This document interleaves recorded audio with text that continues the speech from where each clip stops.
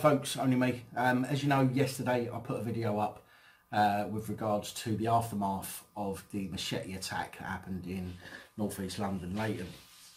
Uh, I had a bit of stick about that video um, from a couple of people. We have discussed it. Um, basically, my intention was to put that video out as quickly as possible last night as it came to me. If I'd have tried to edit it and do all of that stuff, it wouldn't have been up until this evening. So I just wanted to put that out first. And then today I was going to spend the day uh, creating one of my normal style videos with some uh, commentary, etc. However, today has been an absolute nightmare of a day. Um, for some reason, everything just seems to be going wrong. So I'm not in a position to have that particular type of video ready today or tomorrow.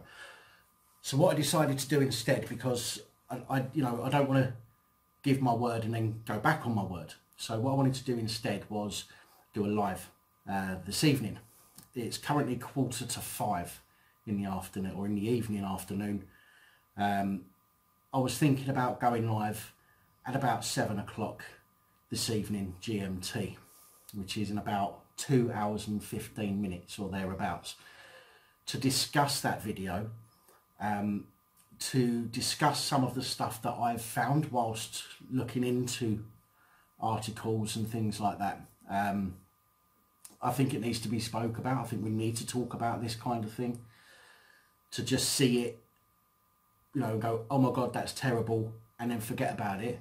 it is bad. It, you know, we, we, we can't allow this kind of thing to continue going.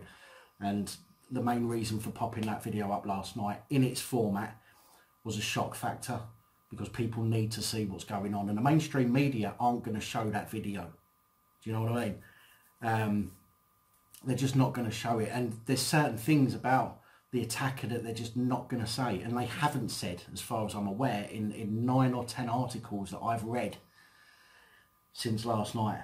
There's stuff that they haven't mentioned, um, which I'm happy to mention but I want to do that in a live and I want to get into a debate and a discussion with all you guys. So what I'm going to do is I'm going to pop a link in the description below, okay, which will be a link to the live stream. Um, so you can be ready for seven o'clock, all right, when I go live. But the link will take you to a page that, that's basically holding. It will tell you, which should tell you when excuse me, when the live stream's starting with a countdown.